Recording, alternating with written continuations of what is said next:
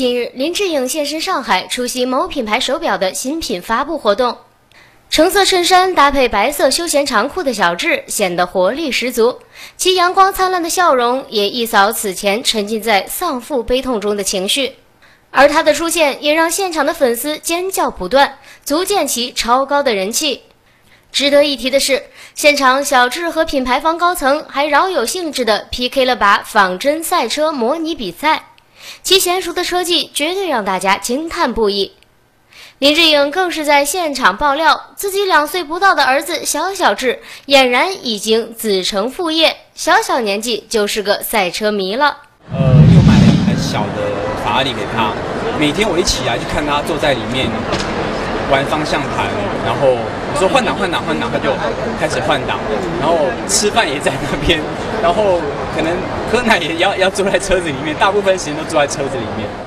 此前，赛车冠军酒精中毒、拉力神童刘曹东的去世，无疑成为了赛车界最大的噩耗。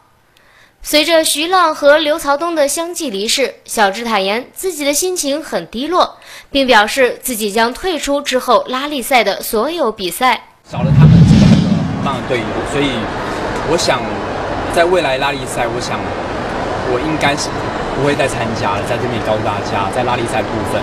但是其他的赛车，我想我还是会继续。所以今年的比赛的计划其实还是有的。那我会放在年底一个世界力曼大赛。那剩下的比赛可能会让我车队的一些一些新培训的一些选手，让他们参加比赛。虽然小智不再参加拉力赛，不过由其主演的《极速天使》即将上映。在片中，小智将化身为赛车教练，与刘若英、汤唯和张柏芝展开对手戏。同时，还是影片赛车顾问的林志颖，自己也要成为三位女主角的现场教练。对于他们三人的车技，林志颖又有什么样的点评呢？开始，我比较担心，就是他们在开车上面，可能就是在开的上面，就是跟他们外表会不会比较可能比较不太符合？因为毕竟他们都是呃影后，三个都是影后。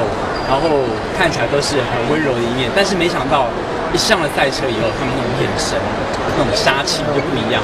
刘若英在里面呢，可能呃看起来就是呃他很会唱歌，然后奶茶嘛，但是没想到一上车以后，他就说：“哎，我这个要有换挡，这个要怎么样？那那个要怎么样？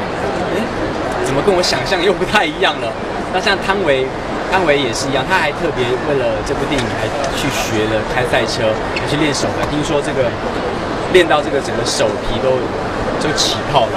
所以像张柏芝也是一样，也是听说他非常喜欢开快车。所以我发现他们三个人的这个天分都相当的好。